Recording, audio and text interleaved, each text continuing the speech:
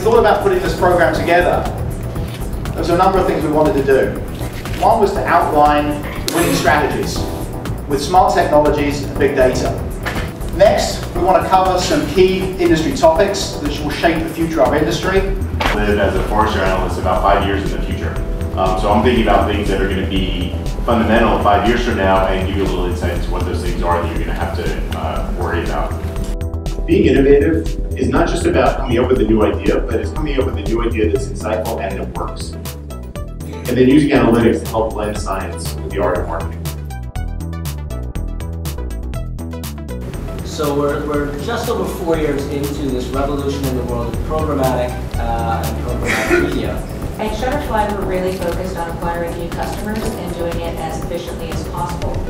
That said, programmatic really helps us in that if we want to go after new moms, instead of paying a premium and going to BabyCenter, we can find that mom anywhere she is online with audience targeting. And we're able to use programmatic targeting and buying to really find those users as efficiently as possible.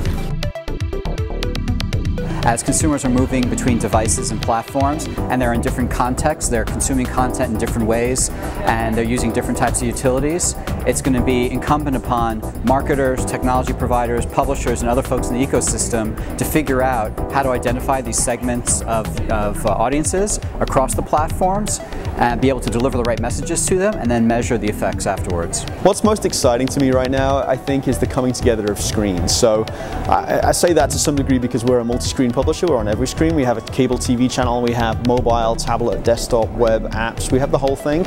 I think what's happening right now is that coming together, uh, like I say, the focus on objectives rather than features and the way that marketers are looking to touch people, to tell their stories, to get their messages regardless of where they touch them. Uh, apparently, Facebook bought Oculus for uh, $2 billion, and uh, it's a fresh reminder of sort of something that I'm always thinking about, which is uh, how do you focus on technology that isn't necessarily based on the way that the world works today, but um, how do you set up your product process for the way the world's going to work in 18 months and 24 months? The split funnel attribution system works by collecting view data from all of your multiple display partners and combining it with the site visit data that the standard Quantcast pixels collect on your site. And being able to see which one of your partners is succeeding in different areas can sort of help you use them in the future as you sort of plan out your year and your spend. And I think the most important thing that we found is that you really need to take the learnings that this this system provides to you and pass it back out to your other partners.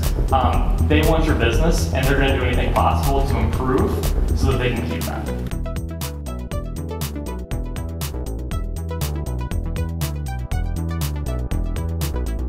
It is a new raw material of business. Traditionally in economics, we thought of the three factors of production, land, labor, and capital.